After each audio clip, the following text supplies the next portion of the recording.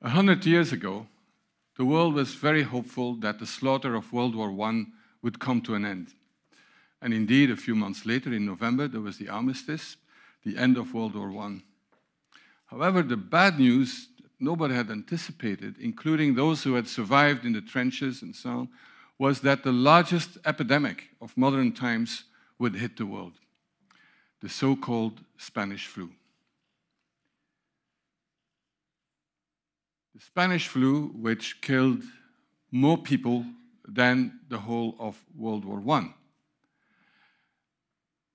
And interestingly, whereas World War I is in our collective memory, my grandfather um, took us every year to um, the trenches, to the poppy fields in Flanders, where he had spent three, four years. I'm from Flanders, Belgium. But the Spanish flu is not remembered uh, collectively, not as a historic disaster. And that's a quote from Laura Spinney, um, a book I can highly recommend, and that's um, called Pale Rider about the Spanish flu and how it changed the world. When you look at it, just here some um, fairly basic uh, statistics. You can see that um, there was a huge peak in mortality coming in actually three waves around starting in March uh, 1918 and then a second much worse wave in um, autumn, around the armistice, and then a third wave, um, you know, as you can see here in um, 1919. Uh, and um, it was devastating.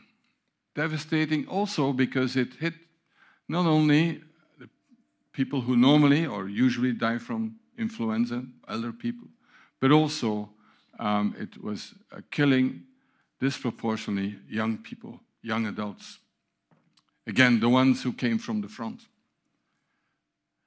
Now, why is it called the Spanish flu? There is a certain tendency in history, in people, to always blame others for a problem. For some reason, historic reason, Naples is often blamed for all kinds of things syphilis, gonorrhea, also um, the influenza. Actually, in Spain, they called it the Naples uh, disease. and because of the war, there was very heavy control, censorship of news, of the media. There were no social media. So it was fairly easy to, you know, to organize censorship. And any bad news was not allowed to be um, published. So even if it started, the first, um, you know, uh, cases came from uh, actually from Kansas in um, in the U.S.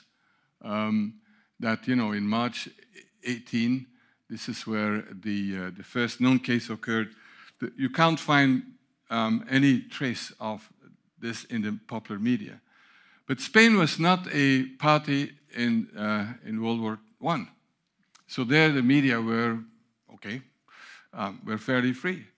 And so they were publishing about uh, uh, outbreaks in various Spanish cities, and so it became the Spanish flu. Um, and, uh, but each country had a, a, different name. But just in Japan, and in Japan, the first victims were sumo wrestlers, you know, the very one. And so it was the sumo disease, the sumo influenza. And, uh, and, and each country in uh, Poland, it was called the Bolshevik uh, influenza, etc., etc. That in itself is, makes an interesting book and how, um, you know, how diseases are being named. But basically, what's the bad news? You blame the others. Um, now, also, this was at the time when there wasn't um, disease surveillance. There was not something like here, Public Health England. Um, there was not even an understanding what the etiology, what the causes of uh, influenza. It was thought to be Pfeiffer's bacillus, which is a bacteria and which we know is not the cause of influenza, which is a viral disease. Um, and um, so it was not so easy to come up with um, a definition or to know exactly what um, the um, you know what a disease, how to define it. And here you can see that one thing that we know, and that is that it spread all over the world. And you can see here first wave in blue, then the second wave, and then uh, you know we had an, um, a third wave. And just remember, there was no commercial air travel in these days. So in no time, a virus spread all over the world where the fastest mode of transport was the train. But the um, movements of troops and also the demobilization afterwards helped. And mass gatherings and uh, celebrations of the armistice and uh, so on, and religious festivals, and just name it, um, all that contributed. But I still find it remarkable how, um, how fast a virus could spread all over the world just by air, because people have to breathe, um, in the absence of what the kind of travel that we have now. Um, and so between 50 and 100 million people were killed. You can say, wow, that's a big range. Uh, and the reason for that is that there was no systematic uh, recording of, of deaths in most countries. The definition was not clear, um, and so on. But we know for sure that in some parts of the world, and particularly when you are, an island was affected by it, you know, up to 20% of the population could die. And one example is the Western Samoa, um, where um, about 22% of the population died. And we ha you have it also not only in the, in the South Pacific, but you can see here the, um, the enormous number of people who died all over. UK, 250,000. Um, now, that was the immediate impact. Um, massive deaths. Um, hospitals couldn't cope cemeteries couldn't cope, um, and it destabilized society, but in a very acute way. Once it was over, kind of life went back to normal, kind of, but not really. Um, because the Spanish flu had long term impacts, as most uh, epidemics.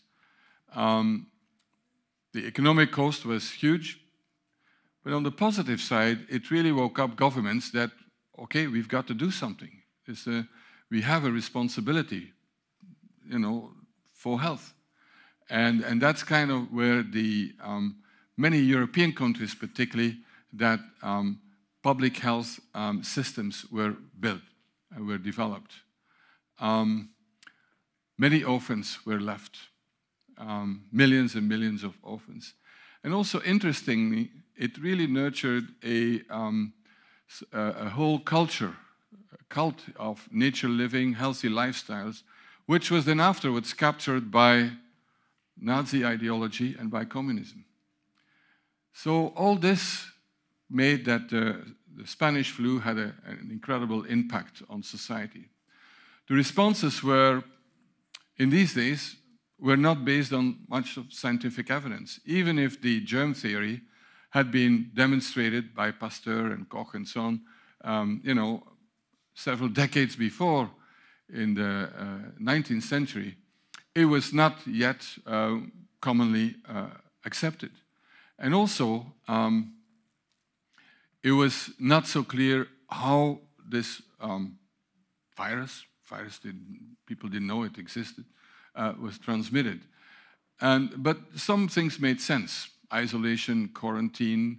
Um, but like this hospital that you can see here, um, you know, actually probably also contributed to the spread of it because you, uh, there, it's a mixture of people who actually have it and others no. And, um, and something that also appeared, and this is for, um, uh, an image from Japan, where today uh, in Japan and also in some other uh, Asian countries, when someone has a cold or so, people walk around with a face mask. That started in these days. So that's interesting that, that the, the origin of it is not to protect yourself, but it's in, in Japan today is you want to protect others. Um, whether that's effective is debatable, depends on what it is. So there was a, um, a, a massive uh, but very uncoordinated um, approach, and um, it led to, um, as I said, the birth of a um, lot of modern public health systems. Should also say that most people, uh, actually, we know today, died from um, from complications, from pneumonia, from bacterial pneumonia. And the big difference with today is that um, there were no antibiotics then. Today we can treat most of them. Um, so, and why was there a um, this Spanish flu? Why was this so lethal, so fatal? We know it's a, an influenza virus, and an influenza can be, um, you know, got all kinds of types. It's a virus that mutates all the time, and it's of the so-called H1N1 uh, type, um, but of a completely new type, so that nobody had any um, protection, no, no protective immunity, because the reason that every year we need a different uh, influenza vaccine is that um, the virus has mutated a little bit, and uh, so that we need a vaccine with the, the new um, antigenic makeup, the new coat and so on, that uh, um, will then induce antibodies against the new strain. And when that's a completely different new strain that we have absolutely no, not been exposed to, that's when you can have this uh, fatal uh, and massive epidemic. Now, epidemics have always been there. Um, and uh, we've seen uh, the Asian flu, Hong Kong flu, Russian flu, avian flu, swine flu, and so over the years. Uh, and actually, every year, um, we shouldn't forget that influenza kills tens of thousands of people. That's kind of so-called normal. But the, what may become the biggest epidemic of uh, modern times is still going on, and that's HIV, and I'll come back to that. Already more than 30 million deaths. Now, epidemics, okay, my background is uh, microbiology, infectious diseases, and I've always been fascinated by um, epidemics, by microbes since I was a child. But it's also um, catching the interest now of people dealing with investment and with risks. And here, this is from the annual uh, report of the World Economic Forum. They um, publish every year a very interesting report. It's called the Global Risks Report. This is from January this year. And uh, it's based actually on, um, on surveys, what people think and believe there's a risk. And epidemics are always in, in there. So together with social instability, uh, you know, food crisis, water crisis, etc., cyber attacks, and just name it. So they have now, um, they're no longer um, just in the field of public health and of uh, microbiologists. We also know today that the economic impact of um, epidemics can be huge. And um, it's always as close to art as uh, science to estimate what's the global impact uh, in, in, term, in, economic terms, but yet uh, it's fairly uh, precise when, for example, we uh, had SARS. This is the, the first um, major uh, new epidemic of the, this millennium. SARS stands for um, severe acute respiratory syndrome. It's a, a, virus, I'll say a few words about that, that appeared in um, southeastern China and in, in, Hong Kong was really devastating. There, um, the impact could be measured in a, in a very quite precise way. And so you see, we're talking about billions and uh, a huge, a new uh, Spanish flu type of epidemic would um, cause trillions of damage. Most actually of the um, the uh, economic cost is not so much caused by direct impact of the, of the um, epidemic. I mean, that's more medical cost and all that, and lives lost and so on. But it is the fact that epidemics destabilize society. And um, in the case of Hong Kong, for example, um, okay, GDP was hit, by about 3%.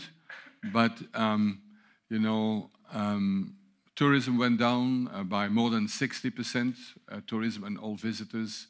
Um, the, um, you know, food and transport and so on. And uh, this is what's, what's happening. Now, of course, it's not just us human primates who are affected by epidemics. Um, farmers know this very well. Um, and, uh, and I like wine, so wine is also, the, there's been a defining epidemic caused by phylloxera, um, also about, well, more than 100 years ago, and uh, which wiped out the, um, the uh, you know, the vineyards in the, on the old continent in Europe, and fortunately they had planted uh, some vines in California, so we had we could re-import that, and uh, and uh, without that we would not have um, good wines the, from Europe. Um, but animals, uh, so epidemics are there all the time, and uh, it's not just limited to to people. So, and their economic impact uh, can be enormous, and um, it's one of the reasons, for example, that you know antibiotics are so widespreadly used in uh, animal husbandry and um, for economic reasons, um, and um, with sometimes very negative impact in, on people. Now, I mentioned SARS epidemic in Hong Kong. And Hong Kong illustrates what we uh, are going to increasingly be confronted with, and that is very high density uh, um, you know, populations, dense populations, like in Mong Kok, for those of you who have been in uh, Hong Kong, is the most densely populated um, place on earth. I can't remember the, the, number of thousands of people per square kilometer. Um, and that's where, um, you know, the SARS virus, which is a coronavirus, is a, is a, a whole family, a new family that we know, and uh, it probably comes from bats that are um, really living happily with the coronavirus. But when it, you know, the virus um, is then introduced in a very densely population, um, this is ideal and it can spread. Um, but secondly, not only did it hit Hong Kong very well, but someone traveled from Hong Kong to Toronto in Canada and uh, caused then a new wave of epidemics there, killing tens of people um, in intensive care units and so on. And that's a big difference with the time of the Spanish flu. Even if I said, okay, it spread all over the world in no time, um, today that's a matter of hours and not of days.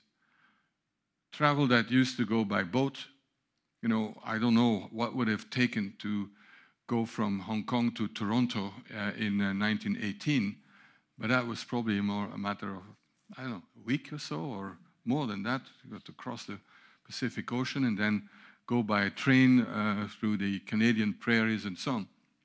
So that's a, um, that's one, that was the first one where we saw, okay, it's no longer a local issue we need to care about. Other example is MERS. It's the, another coronavirus um, infection that comes from camels and uh, it's spreading in the Middle East. ME is Middle East uh, Respiratory Syndrome. And here, a Korean businessman flew from Abu Dhabi to Seoul, capital of Korea, and um, didn't feel well. Went to uh, an emergency room. In the waiting room, um, you know, was examined, etc. Um, and then does something that is quite common in Korea is medical shopping, and so went from one hospital to another and, uh, and that caused the death of about 50 people. And uh, I'm not saying the person is guilty, but that's, you know, through overcrowding in, in, in, um, you know, in waiting rooms and in um, intensive care units. Again, it's an epidemic that continues in the Middle East, the Gulf states, but then it could hit Korea. And then finally, um, these are all transmitted through, um, you know, through air, through, through breathing, basically. Um, but then something happened that was also unexpected. A few years ago in, um, in Brazil, there was a, uh, an epidemic caused by Zika virus. Now, Zika is the name of a forest in Uganda, near Entebbe. It's actually owned by the Medical Research Council.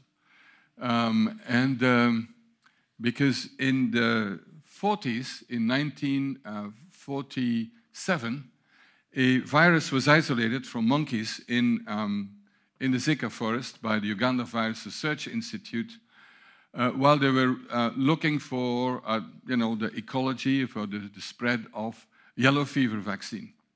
And by accident, they found this virus.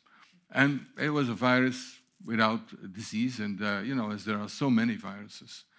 And it took then um, about uh, 70 years um, before um, it was clear that this was also um, a, a, major risk to health. And it caused a huge epidemic, first in uh, the uh, Pacific Islands, but then in particularly in Brazil. And um, the biggest problem was okay, not so much for adults because it gives you dengue fever like syndromes. In other words, a bad influenza plus uh, skin rash and, and, and, and joint uh, aches and so on. But if you're pregnant, the, um, the baby is born from mothers who are infected with um, Zika virus, particularly during the first trimester, are born with neurological complications and microcephaly, so small brains, small heads. Just like we've seen, we, we had here uh, with rubella, German measles, before there was a vaccine. Today, we don't know this anymore thanks to, to vaccines. There's no vaccine against uh, uh, Zika. The big difference with the previous epidemics is that this is transmitted by a mosquito. By a mosquito called Aedes aegypti, that is also transmitting yellow fever, dengue, chikungunya, and because of climate change and warming, it's spreading, uh, you know, its, um, you know, um, the, its field around the world. Um, now, Ebola, because Ebola is um, something that I spent some time on, but also um, when you think of the two defining epidemics of our time, it's not influenza, which has killed so many people and still kills, but in, in the um, imagination, in the media, it is Ebola and it's AIDS. These are the two defining epidemics.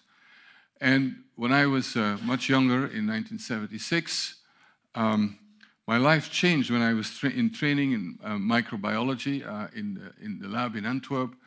Uh, we received a, um, a, blue thermos from uh, Kinshasa, uh, which was the capital of what was then called Zaire, now the Democratic Republic of Congo. And it contained two glass vials. There was no plastic, it was all in glass.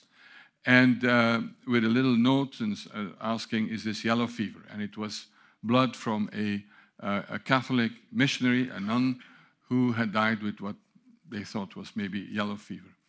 And um, the, um, we did the usual things to isolate viruses in these days. Was more like cooking. It's like very artisanal. You inject mice, you uh, put it on cells and so on, and then you wait, and then you look at on an electron microscope. And what did we see under the electron microscope was, um, was this, this image. Uh, and um, we had never seen this. So we had to go to the library. This for the younger people. There was no, um, you know, no. We couldn't Google or whatever. To go to a library, and then you had to, if you know what that is, you know, and then. Uh, and go and then consult an atlas, you know, with images and photos of viruses. And we were lucky that we had all that in the institute I was working in, the Institute of Tropical Medicine in Antwerp. And we saw that this looked exactly like Marburg virus. Now, Marburg is a city in Germany where they have vaccine um, manufacturing plants, and we're making a polio vaccine. And um, a few years before, uh, about um, total of um, I think it was like 30 people uh, in Marburg and in uh, Yugoslavia, the then Yugoslavia, had died with Marburg virus infection while they were manipulating um, monkey kidney cells that uh, had been infected with Marburg virus coming from Central Africa. So we thought it was that. And then there was a moment of panic, and we got a, a telegram from the World Health Organization saying we should stop all uh, research, all investigations with these viruses, because we did not have the containment. I mean, um, And we sent it here in London to um, Porton Down, and uh, where there was a military lab um, with uh, maximum security, what we call now um, BSL 4 level. And uh, there were only four labs in the world these days.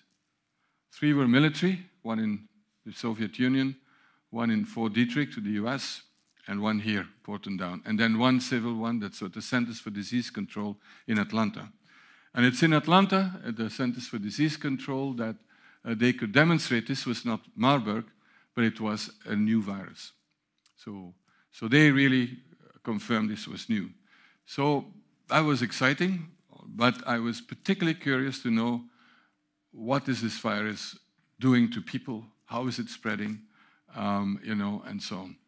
And, um, and by the way, the name Ebola is, um, because viruses need a name, um, is the name of a river that is flowing not too far from what was the epicenter of um, the first known Ebola outbreak uh, in northern uh, Congo, uh, northern sea.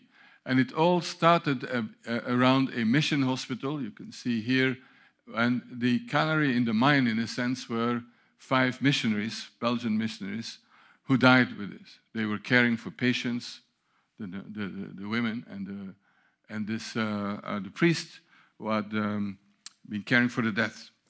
And, um, and I'm mentioning that because it's such a remote area that it may not have been without them, we may never have known.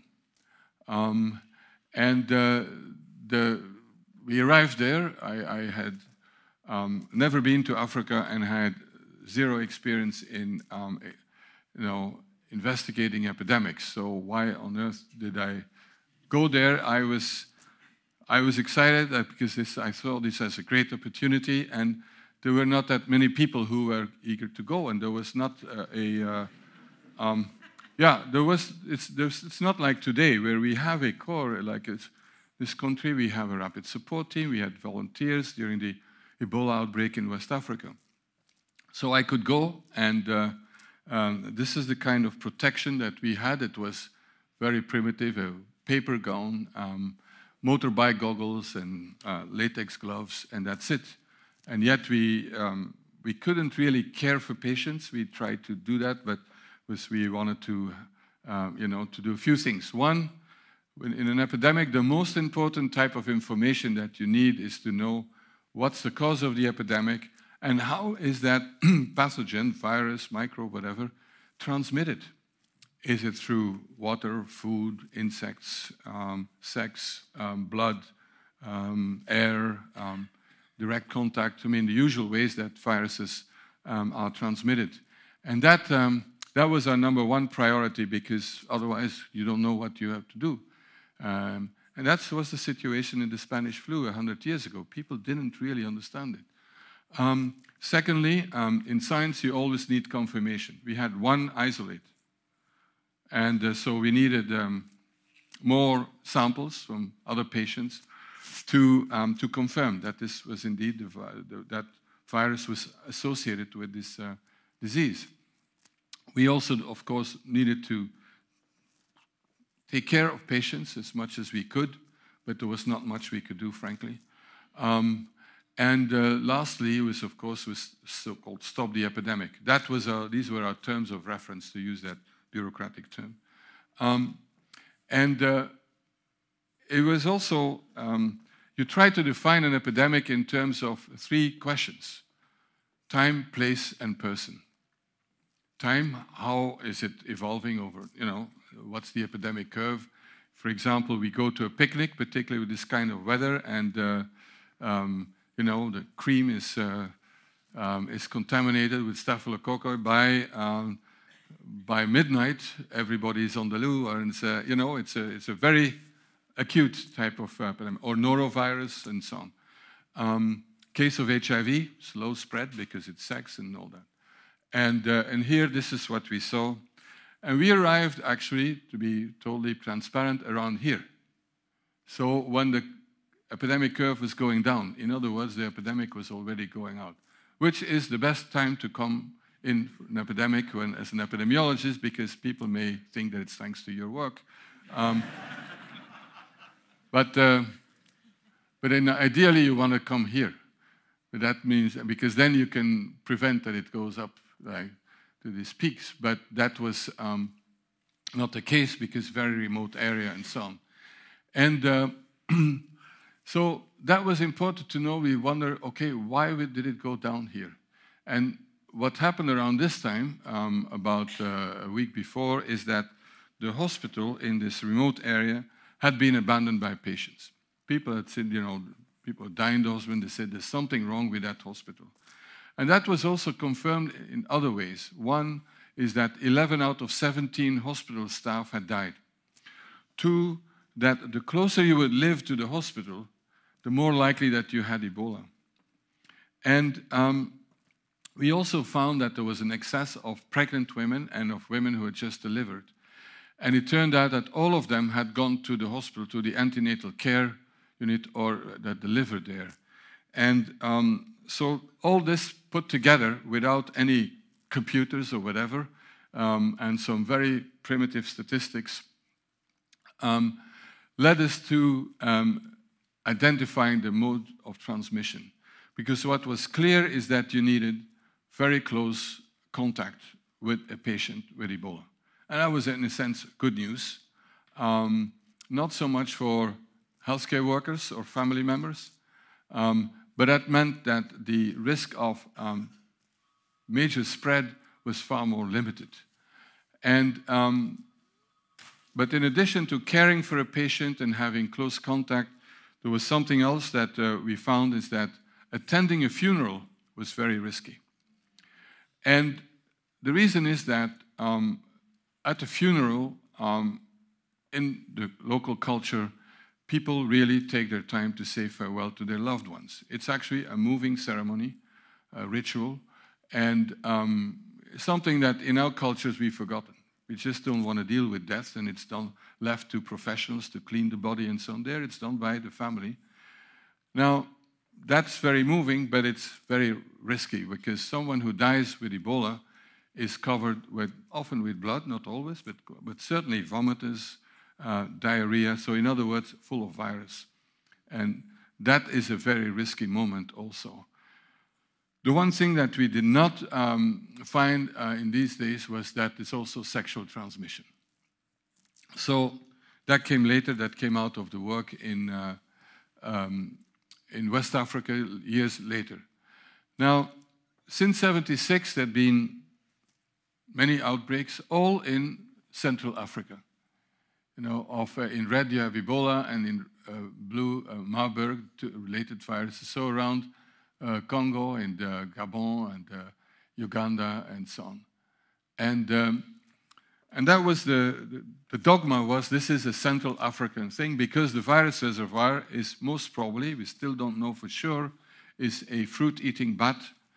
And uh, by the way, bats are very special animals from a biological perspective, and they hardly ever develop cancer.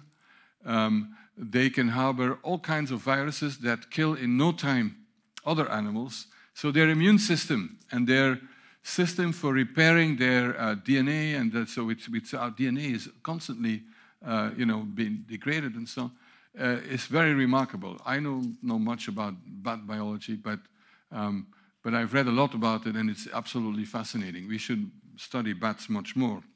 Um, but then everything changed in 2014 when um, there were the first reports, and there was in March uh, 2014, that there was Ebola virus infection in uh, West Africa. And, um, and I was uh, in three countries in addition Sierra Leone, Liberia, and Guinea. And it started in, we know today, around Christmas in 2013 in a town called Guéckédou, in a, a border town in Guinea, Conakry. Um, but the borders are very artificial. They come from colonial times, and but people are, you know, crossing the border all the time. They have um, relatives on the other side of the border. They they marry with someone, etc. They trade and so on. And the roads are quite good, which is a big difference from Congo. And um, it took about three months to uh, know that this was Ebola. So first case on the 23rd of December, we know today, Um, and laboratory conf uh, confirmation was um, on the 21st of March. So a lot of precious time was wasted. Now, Liberia and Sierra Leone uh, just came out of very brutal civil war and leading to not only a collapse of um, society in general, but also um, professionals uh, left the country, infrastructure not there, and so on. So, labs. Guinea, decades of corrupt dictatorship, similar problem, similar results. Um, and also, you can only find what you're looking for. Nobody was looking for Ebola in West Africa, um, but for other things. So it was actually in Institut Pasteur in, um, you know, in, uh, in Dakar, in, in, in, Senegal, that they uh, could prove that this was Ebola. And then there was some, uh, you know, a bit of support and all that, but not really much. And uh, you can see how um, the cases started to build up um, in May, June.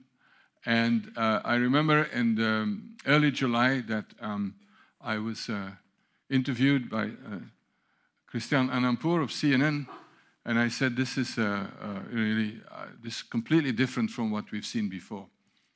Um, three countries involved, capital cities, were only, quote unquote, 600 cases, but I said this is different.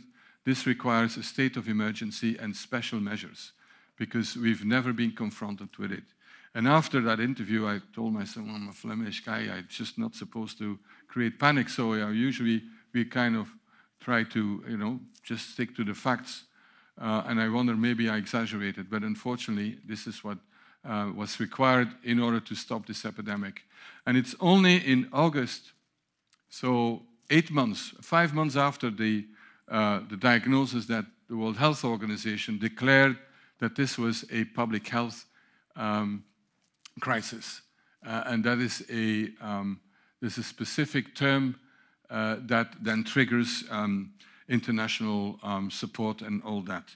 And that was a clear failure of global governance um, that um, you know, uh, will have dramatic uh, consequences. And the first question that we thought was, uh, oh, maybe it's Ebola, but maybe this is a different strain. Because Ebola has different uh, types of Ebola, and some are more uh, lethal than others. And maybe we thought, okay, this uh, one that we didn't know that popped up. But today, unlike in 76, we can know in a few hours, at most a day, whether a virus is identical or not from another one that we know. And so you can do, um, you know, through gene sequencing, um, we could, we, we knew very rapidly on that this was a classic so-called Zaire strain. So it was not a new virus. And um, this from an editorial in Science magazine. And so I said, this is really, it's about society and populations. It was a perfect storm. It was a perfect storm virus that was unknown. People had no experience with it. But entering countries that were not prepared for any shock. Um, Liberia, for example, had 51 registered physicians, um, you know, um, for a population of about 5 million. Um, Sierra Leone, a few more. Guinea, much more. No infrastructure. Um, also, a total distrust of what authorities would say. When you come out of civil war and the government says we have an epidemic, people say, oh, maybe because we were in the opposition and we were, you know, and they want to do, that, they have an agenda and so on. Also, um, norms and uh, beliefs about transmission of disease were also very different. Um, so, and then the, the, great delay in action. Um, in epidemics, what's crucial is act early.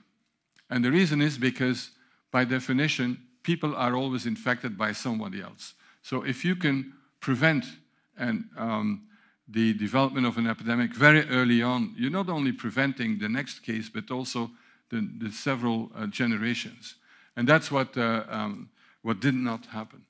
Um, and it led to major um, social unrest um, because life came to a standstill. Okay, hospitals were closed, women who had to deliver, nowhere to go.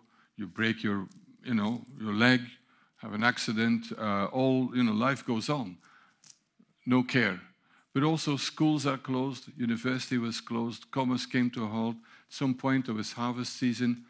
The farmers couldn't sell their commerce. And to make things worse, um, airlines stopped flying into uh, these countries. And so um, that was also a major um, disaster. And, um, you know, the countries are living, the main economies, they're driven by mines, mining, and the price of commodities was going down, etc. So it was really a, a major social issue, um, an economic issue, and uh, some people were even killed during um, these uh, riots, and uh, also uh, journalists and nurses who were going to come to work um, were killed. Sorry. Now, at the end of the day, the epidemic stopped. 11,000 people were killed. Um, thanks to heroic efforts from people on the ground, local people, but also major um, support from elsewhere. And the UK was really at the forefront. We concentrated on Sierra Leone for historic reasons. Um, Americans on Liberia and the French on Guinea. That's uh, still part of uh, history today. And um, we had uh, lots of volunteers coming through Public Health England to uh, nurses and um, doctors and so on. And uh, uh, in, in, the end of August, or early September, I sent a note to an email to all staff at the London School of Hygiene Tropical Medicine. And I said, this is a crisis going on, a humanitarian crisis, public health crisis. It's our duty to support. And I encourage everybody to volunteer. And we had in 48 hours more than 400 volunteers. Out we were then about 1,500 people. And I, it was my proudest moment because I know that people are here for a reason. Um, not everybody could go, of course, but it was people from the IT department, from communications, from, of course, from the labs, and so on. And when you think of it, um, epidemics, what do you need? I mean, it's the medical care, sure, but it's coordination, it's logistics, it's communication. That's why also the armed forces were so important to, uh, to, to contribute and to come in. And that was the case in Sierra Leone with the UK armed forces and in uh, Liberia, the Americans. Now, a silver lining on all this was that for the first time ever in such a dramatic outbreak, there was actually uh, some research was done, social science research, with mathematical modeling and so on, but also, um, you know, um, therapeutic and vaccine-related research. So, so we could evaluate are some of the experimental therapies, do they work, do they protect? And um, the answer was, in general, either no or we don't know because the number, the sample size was too short, too small. But the major, um, I think, advance was uh, particularly on the vaccine field thanks to actually um, funding from um, anti-bioterrorism um, funding from particularly coming yeah, from the military in the US and also from uh, in Canada from the Public Health Service, some experimental vaccines um, existed. GSK had one, um, Johnson & Johnson, Janssen, and uh, Merck. And the Merck vaccine um, was evaluated in Guinea in so-called ring vaccination, where the vaccine was given to contacts of someone with Ebola, and then it was a, a trial design. Our school developed a trial design, and it showed, it, it demonstrated that it was really highly, highly effective to uh, stop the spread of, um, of Ebola. And in, um, in Sierra Leone, our school continues to work on um, another vaccine that's particularly aiming at protecting healthcare workers and the general population because imagine if you can protect a healthcare worker, you don't need to have this incredibly cumbersome, um, you know, protective clothing and so on, and uh, uh, you wouldn't have this uh, absolute um, disaster in healthcare workers. More than 500 were killed during the, world, uh, the West Africa outbreak. 500 healthcare workers in countries that already have a shortage. So the lessons were that a perfect storm can generate major epidemics. Even in the past, it was smaller. Two, that you have to act early. Public trust is absolutely key. Um, you know, it's not a bunch of experts that's going to you know, solve the problem if public is not, you know, doesn't have confidence. We saw new clinical features, for example, um, sexual transmission and all that. There was a real failure of global governance, but R&D was possible. Now, today, as we speak, there is an outbreak of Ebola going on in, again, in DRC. And um, I would say there's good news. Uh, one, been a swift response by the Congolese. It's one of the most disorganized countries in the world, I think. I worked there. Um, and, uh, but yet, they've got experience. They can make diagnosis in Kinshasa, and they act immediately, led by the Minister of Health himself. And the World Health Organization and MSF, Doctors Without Borders, were there very proactive. The advantage was that it's in a very remote area, hard to reach when you see. That makes it tough to get there, but also it makes it tough to get out. Uh, you can only get with bicycles or motorbikes or helicopters. Even a four-wheel drive doesn't get there. So, and that means that it's been contained, and vaccines have been used for the first time. So I'm quite optimistic that uh, we will see the uh, outbreak uh, coming to an end soon. Um, now, it's when you look at most epidemics in today's world, and we know that from the deployment of the rapid support team of the UK, um, that are actually linked to humanitarian crisis. Yemen, where there's a yeah, an absolutely bloody civil war going on, or and, and not only civil war, but with lots of international players, there have been the largest uh, cholera epidemic um, ever.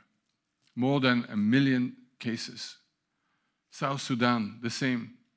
Um, when the Rohingya were massively um, displaced and killed um, in Burma um, and went to uh, Bangladesh, there was big outbreaks of um, diphtheria and other uh, vaccine-preventable diseases, indicating that they had not been protected.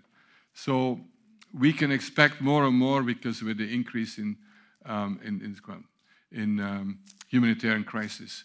Now, the final epidemic I'm going to talk about before also trying to answer the question, are we ready, is um, a new situation. And that is when an epidemic becomes endemic. Epidemic is when you see a continuing increase in cases. Endemic is that when there, is, there are new cases and it stays more or less at the same level, it's simmering. And that's the case for HIV. Um, HIV came out of the blue in, and was the first cases were diagnosed in 1981. Six gay men in, in uh, California, and it was thought to be a gay disease, which I never understood why a virus would care about the sexual orientation of a human host.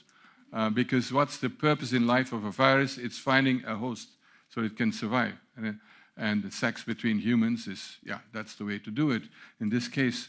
Um, but so all of these six or eight initial cases, cumulatively 70 million people now, over 70 million people have become infected, all connected with each other because only sex uh, can transmit it or contact with blood, uh, blood transfusion, sharing of needles, or because your mother had it when you were born. Um, and that gives a new idea of blood relatives and also of what's going on in the world. More than 70 million people connected underground. And um, it really uh, got out of control, particularly in some um, uh, African countries, but there was a massive response. It really, around millennium, gave rise to what we call today global health, a combination of uh, activism of people in, in our uh, countries or in, in the gay community, but also like in South Africa, here see there were massive uh, movements of people living with HIV. South Africa, which has now six million people living with HIV, and um, you know, and because with in, in HIV the the time between infection and that you become ill can become can be as long as 10 years. So there's time to yeah to agitate.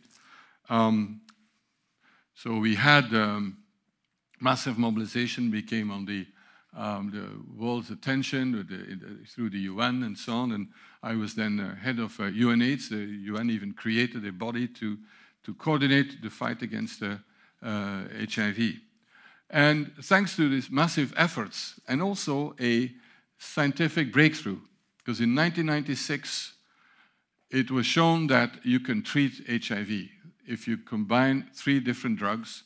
And why do you need three different drugs? Because, like influenza, it's a virus that mutates all the time.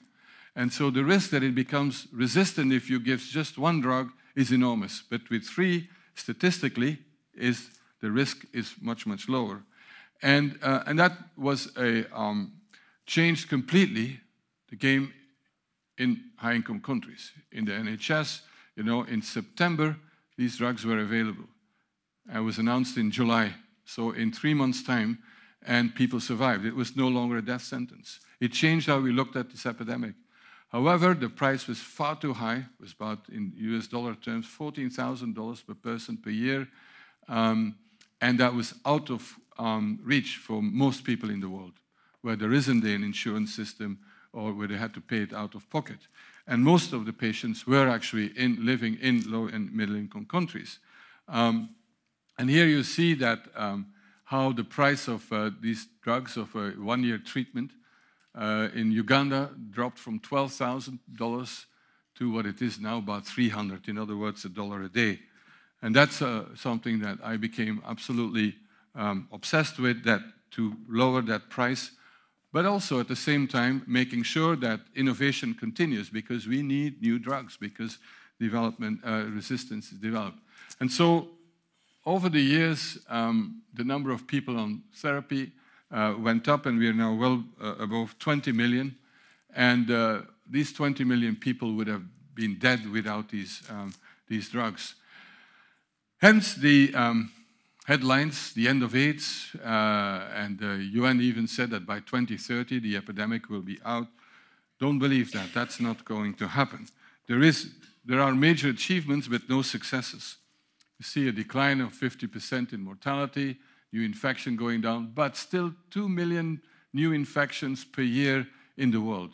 2 million, um, including here in London, although it's also gone down.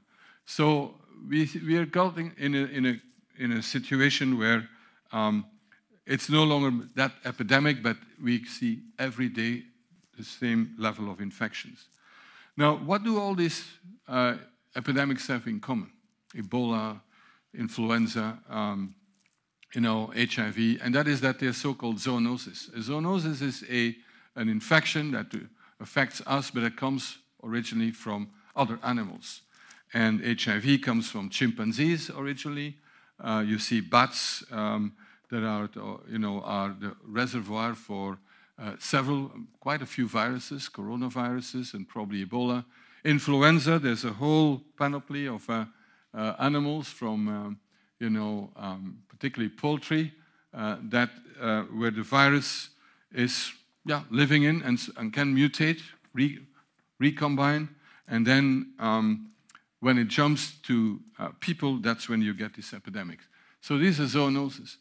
And that's why, um, even if we are being quite successful in bringing down infections, infectious diseases in, in, in general, people in, in our countries die from cardiovascular diseases, diabetes, and so on, and cancer, not from infections, although it's uh, sometimes pneumonia that is the final uh, hit, you know, in old age particularly. But it is a combination of urbanization, so high density populations, enormous mobility, um, you know, um, climate change that uh, increases the spread of uh, uh, several insects, mosquitoes that transmit diseases, infections, conflict, deforestation, food demand, population growth. All that makes that we will be, um, be exposed to more and more uh, of these emerging infections the risk is getting bigger. And then there is one man-made type of epidemic that we are confronted with, and uh, uh, where, we say, the UK, particularly led by Dame Sally Davies, the chief medical officer, and uh, Lord O'Neill, um, you know, they've drawn the world's attention that there is a real threat of antimicrobial resistance because of overuse and misuse and abuse of antibiotics, which would mean if, it, if this materializes, that we are confronted with untreatable infections. Now, what about the future? Okay, to the, going towards the end. Um, when I was in my final year in medical school, I went with some, something that we call today career counseling, but I don't think the term existed then. And it's and I wanted to work on infectious diseases and infections. And my professor said, no future in infectious diseases. Don't we have antibiotics? Don't we have um, vaccines? Don't we have sanitation? And it was also thought in these days that you could not treat in viral infections because in order to kill the virus, you would have to kill the, the, the cell, in other words, the host. Today, we know that that's wrong. Um, and yet, I went for it. But uh, um, after the Ebola outbreak in um, West Africa in 2014, um, there was a, um, an outbreak of panels to review what went wrong. And I co-chaired one with uh, Harvard University, and, uh, and we all came to the same conclusions. And the conclusions was that the first thing that's most important, one, that there will be more epidemics, the, the risk in the world is, is increasing, but that the, um, the most important thing is the local um, capacity for early detection and early response. It's not the global response that we see in the newspapers and all that. And, uh, but that's not there, so we have to invest in that. Um, that WHO, the World Health Organization, was not fit for purpose and needed to become far more agile, responsive, and so on. Um, that we need to engage with people on the ground. I mean, all this is not rocket science, but that's the way. There was also uh, really bad behavior by scientists, by public health uh, organizations, not sharing samples, not sharing data in the midst of an epidemic, which is vital to have very rapid uh, and uh, real-time information. And finally, that we need a system for developing therapies and uh, vaccines where there's no market incentive. No pharmaceutical company is going to make big money with a vaccine against Ebola or whatever. There's, you know, there's no market. And yet, in this case, certainly, I mean, J&J, Merck, and, and, and uh, GSK all invested uh, in this with, uh, knowing very well that they're not going to make uh, much profit out of it, or no profit at all, I would say. So what has happened since then? Have we made progress? The answer is yes. One, I think, very important is that um, this kind of epidemic, uh, what's now called global health security, new term, um, now is now on uh, the top agendas of the G7, G20, World Economic Forum, and so on. So I think that's important because also that may lead to money.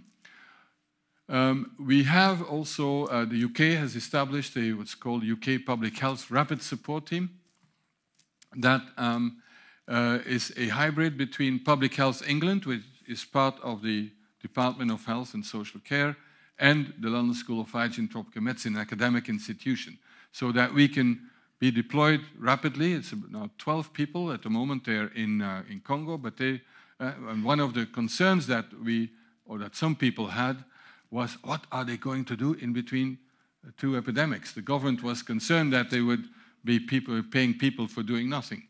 Was, uh, but the reality is that they've not been um, without two weeks of, of, an epidemic, and that actually burnout is now the biggest issue because people have to go from here to there. So we're now expanding that to uh, a network of volunteers, and they've been uh, in, in many countries uh, in just in one year.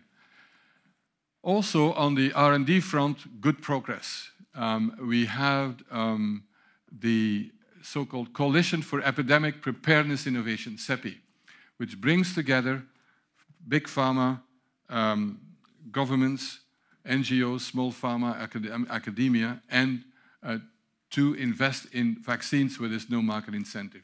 And here are the priorities. And we put that together in a, in a good year, which is also a record.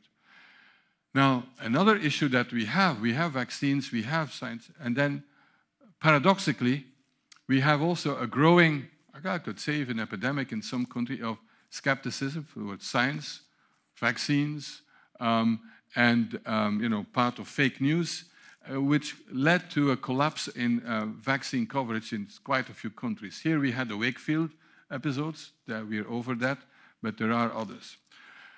And um, so the final uh, question is, what is there going to be the next big one? If you give a talk like this in California, everybody knows the big, then the big one is big earthquake, which will wipe out Silicon Valley, among other things. But it will happen. We don't know when. And the same is true for a big um, epidemic of a respiratory virus, influenza, or another one that mutates all the time. And the risk is enormous. You know, we were 1.9 billion people in um, 1918. We are 7.6 today. Huge mobility, but we have epidemics, uh, antibiotics, and we have we are much better organized now. So I think that uh, the answer to the question is yes and no. We, the risk is increased, but I think we are definitely better prepared. But the key is to invest in countries. And this is a final slide. Like um, um, this is now four years ago, yeah, when for to for my 65th birthday, uh, my wife Heidi and I we went to uh, where the first epidemic had happened in Yambuku. I wanted to see what was happening in the meantime and so on. And after that first outbreak, there was a meeting hosted by the World Health Organization, and where many promises were made. We will never let this happen again. It's like after every war. We will strengthen the systems. We will uh, build capacity. I mean, you can just make a whole list. And when we came there, it was really depressing. The hospital was in worse state than before. Uh, this man you can see there, Sukato, he's a survivor of Ebola from 76. He runs the lab. The only decent equipment is this, lab, is this microscope. This is the centrifuge. The people had no money, so they leave their bicycle to have uh, drugs and so on. So the lesson is that that's something that we should not, not let happen. And um, this is why it's important that we have this international solidarity, to use that old-fashioned word, because in today's world, an epidemic, an outbreak 5,000 miles from here can affect us tomorrow. So thank you very much. If you want to know more, this is us.